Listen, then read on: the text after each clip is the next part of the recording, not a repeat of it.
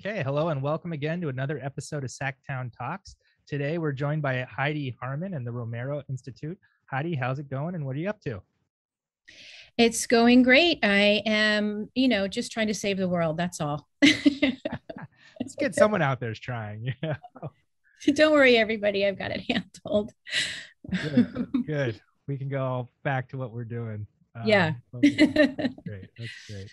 Uh, Heidi, you know, can you, I guess, tell us a little bit about yourself and kind of the Romero Institute and how you found yourself there? Sure. Well, I've been a climate activist for probably getting close to 20 years now. And that led me to well, a lot of activism, and then eventually led me to run for mayor of the city of San Luis Obispo. And I have been the mayor for the last five years here in San Luis Obispo. And in that time, we did do a lot on climate action, including I led the city to adopt at that time the most ambitious carbon neutrality goal of any city in the United States. Um, but recently, uh, I've been thinking about how much more there is to do. And after the uh, recent large climate report called the IPCC report came out that was very dire. Um, my kid reached out to me in the middle of the night and was very upset and asking me, is, Mom, is this the apocalypse? Or is anyone doing anything about this? And I really felt called to do more. And so I stepped away from my role as mayor of San Luis and stepped up into the senior public affairs director of the Romero Institute Let's Green California initiative. And the Romero Institute itself has a, like a 50 year history of uh, justice work, um, really often coming from a legal perspective. So, working on cases like the Karen Silkwood case, um, if you're familiar, she was a whistleblower in the nuclear industry to working on um, issues around Three Mile Island, the Pentagon Papers, Iran Contra, and all kinds of incredibly significant legal cases throughout our recent political history. And so they have a long lineage of that. And in the last five years, they recognize, like a lot of people, that the climate crisis is the defining issue of our time. And so the Let's Green California initiative was born out of that concern around wanting to be part of the solutions to the to that issue. You know, getting into this, uh, you know, 20 years ago, I guess kind of what what was your thoughts then? Like what got you into this 20 years ago? So I ha- I do everything really um, it, out of the maternal. Honestly, that's what it really comes down to for me. I really have organized my whole life um, to try and be the best mom I could. Even be well before I have kid, had kids. I have a degree in early childhood education. Was a preschool teacher. Did my senior project here at the Cal Poly University on homeschooling because I knew I wanted to homeschool my kids, and so I was a very um, intentional, I guess you could say, type of parent. And so I think that is in part why uh, as we were calling it then, and global warming and climate crisis now really has uh, motivated me is because I recognize that it is going to directly impact my children's lives and potentially even end their lives. Right. Um, and so I want to, I, I don't feel comfortable personally not doing what I can to ensure that they have a, a viable future. I guess how have you like stayed focused on this? Like 20 years ago, you know, you heard about global warming, you heard, you know, Al Gore talked about it, you drove a Prius, but it was kind of like, yeah, whatever, things pretty normal. Uh, to kind of you know persevere through this, you know, 20 years, you know, now it's pretty evident. Like, you know, we have fires, we have these crazy storms all the time. Like, you know, people are scared now, but you know, to go through that for the past 20 years, kind of what what kept driving you to move forward? Well, I think in part because I um, accept the reality of science, you know, and and e- even 20 years ago, from a non scientific perspective, it was really clear that this was going to be a significant problem. You know, the the exact specificity of it has gotten more clear, but even 20 years ago.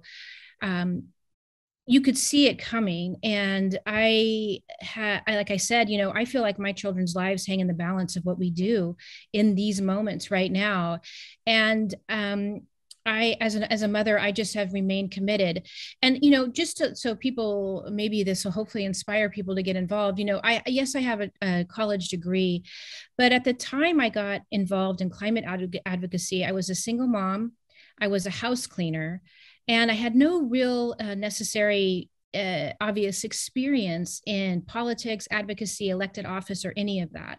And I think in some ways that's the silver lining or the gift of this crucial moment in history is that it really puts us all in a position of, um, first of all, having nothing left to lose, uh, sort of putting our backs up against the wall. And I think that's a time when people can really get inspired to step out and do what they can to make a difference. And so I didn't necessarily know what I was doing when I began, but I did eventually become the mayor of my city and make a huge impact on climate change and other interrelated issues. Mm-hmm.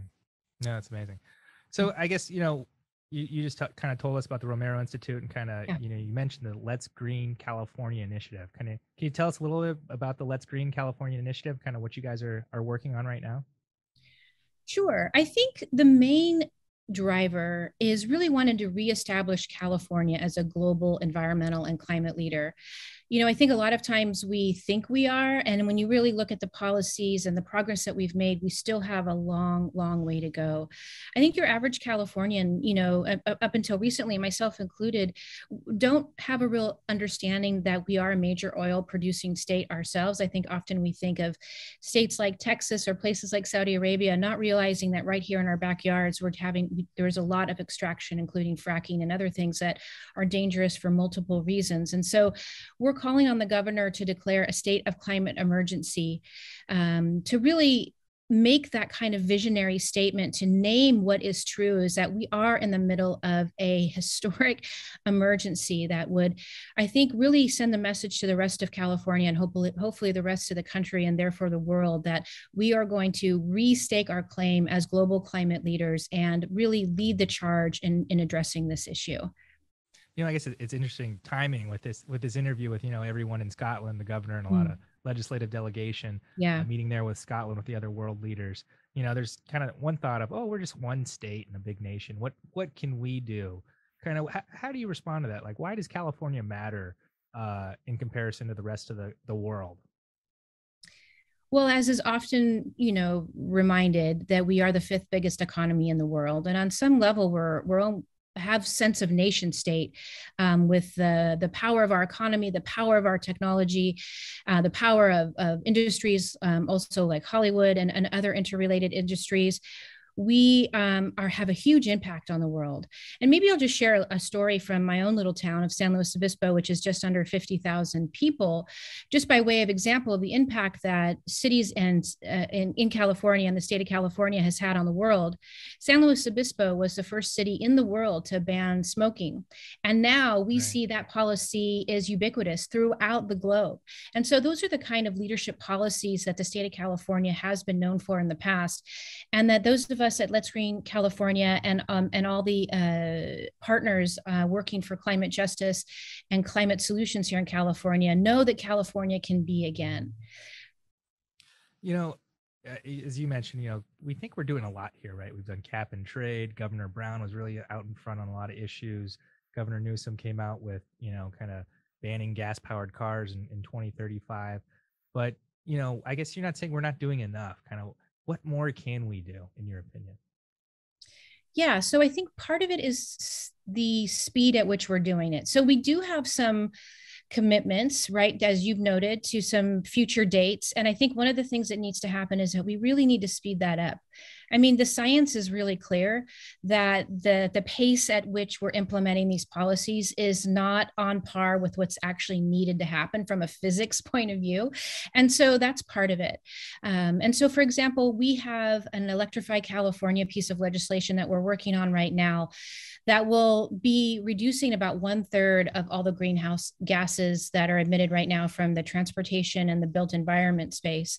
I was heartened to hear President Biden at the Conference of the Parties at the COP in Glasgow, I believe, yesterday in his opening remarks, mention the importance of methane. This is an aspect of climate change and, and greenhouse gas emissions that has not, up until recent times, been mentioned enough. And now we know that methane has about 86 times the greenhouse gas impact of as of carbon dioxide and so the impacts are more short-lived but they're they're huge in the short term.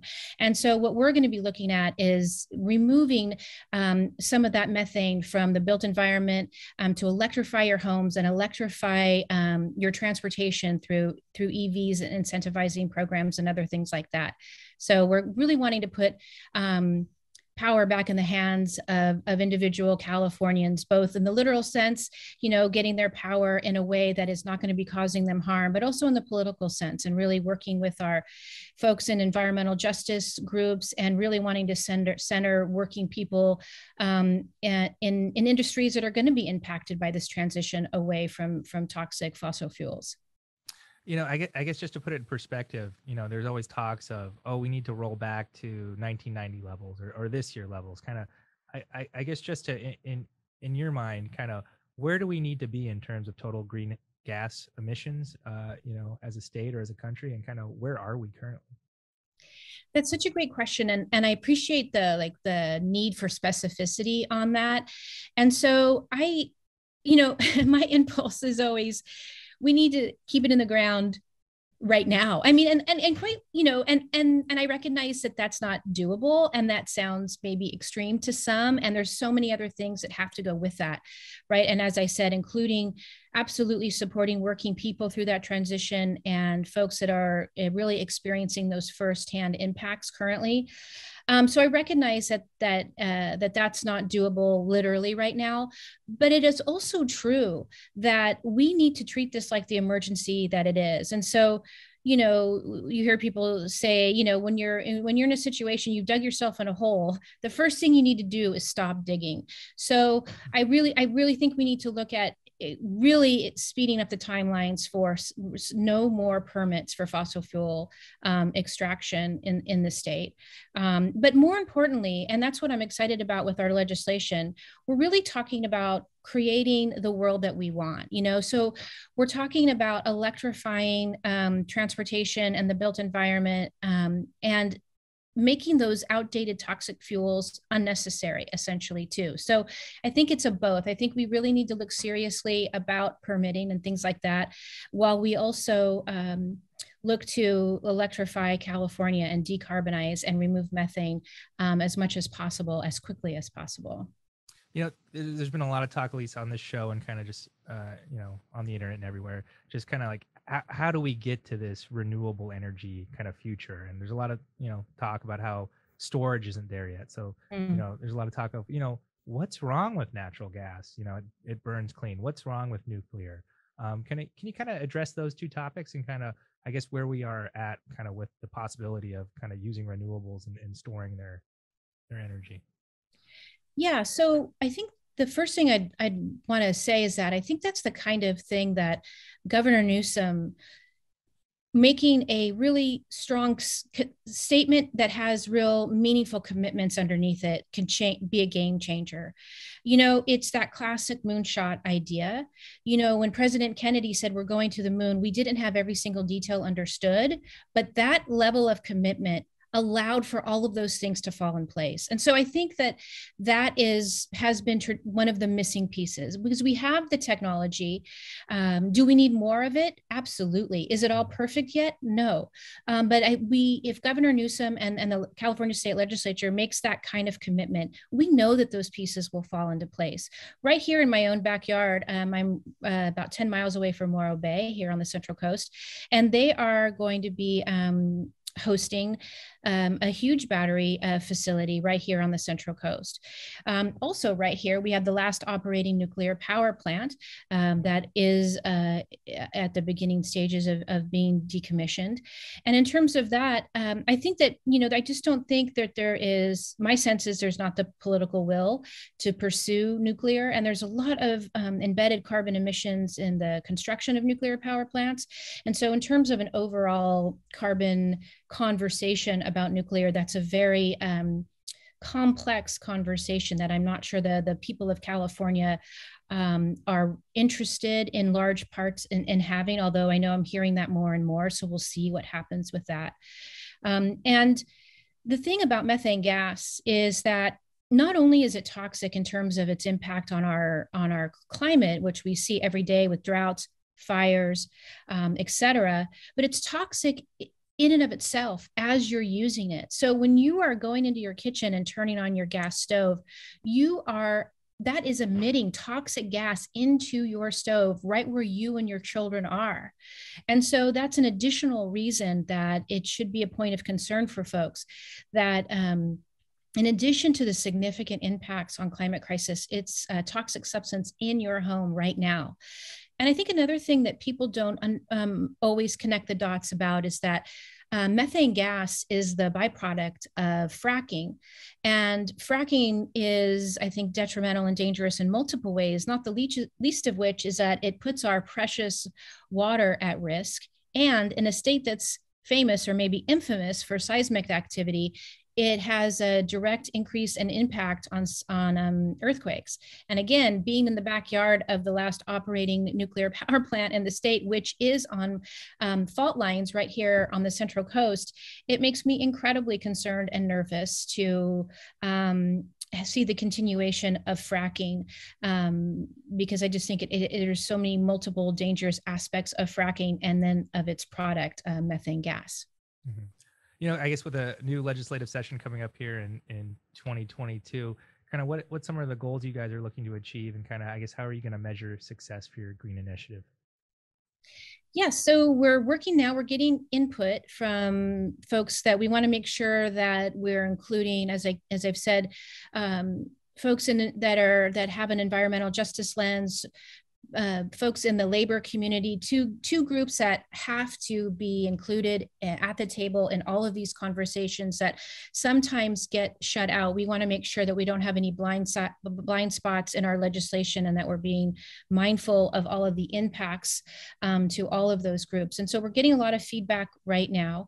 Um, and so our legislation is called Electrify California, and essentially it's a sort of a grassroots, a bottom up way of um, electrifying the home. So, as I said, um, heat pumps, uh, induction stoves, um, and electric vehicles predominantly, and really wanting to put those incentivize those incentives in people's hands right off the bat. So we know a lot of times, especially for people in low or very low income communities, there is not the economic um, capacity to wait for a tax rebate or any kind of rebate.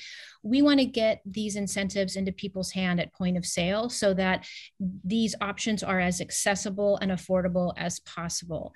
Right. And then eventually, those would we would be looking at um, starting with incentives and then looking towards more of a regulation um, endpoint that would eventually um, make it so that the, the built environment would need to have um, would need to be electrified. Interesting. And you know, I guess it's it's kind of like just changing the consumer uh, perspective on things. You know, we are taught that gas uh, is so good with cooking and heating mm-hmm. and things like that. Just changing our perspective. Um, you know, I guess is are the products out there right now? Are they already being developed to, I guess, meet this new demand that you guys are looking to create that are going to kind of switch the consumers around to kind of wanting to to use these new products in a different way?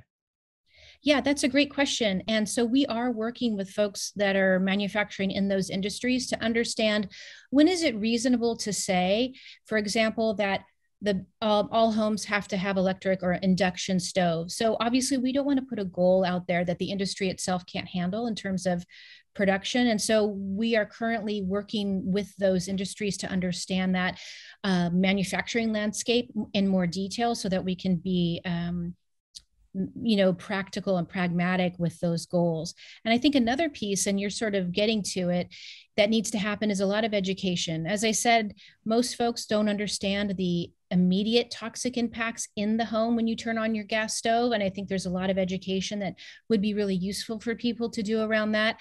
And you're right people do cling to fire for cooking. I think we've right. been cooking with fire since the beginning of time, right? And so there is a strong association there. Um, but luckily, the new technology, the new induction stoves work beautifully. Um, home chefs love them, professional chefs love them. And I, you know, every new technology takes a little getting used to, but um, I think it's something to, to be excited about. You can still cook your delicious dinner without um, inviting toxic methane gas into your house while you're doing it. Yeah, it's always funny when the heater kicks on because you know it's getting cold here in Sacramento, so the heater's kicking on a little bit. And You do smell that kind of, you know, uh, Mhm. it doesn't sound like smell like the healthiest thing, and it's just it's just Yeah. heater, right? That's just the way it is. But I guess it doesn't have to be that way. Yeah, and I mean, and and this is rare, but nevertheless, it does happen. The, uh, you know, every once in a while, there are serious problems that end with people's you know explosions that end end in fatalities also with with methane gas um, coming into your house. And so that's a that's a small fraction of the concern but obviously those that's a very um, detrimental potential outcome that that that there's no need for at this point. I'm I'm ready for the uh, electric radiant heat floor future. yes.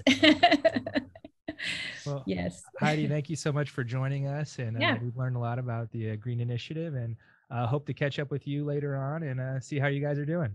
all right thank you so much right. Thanks. have a great day Bye. bye bye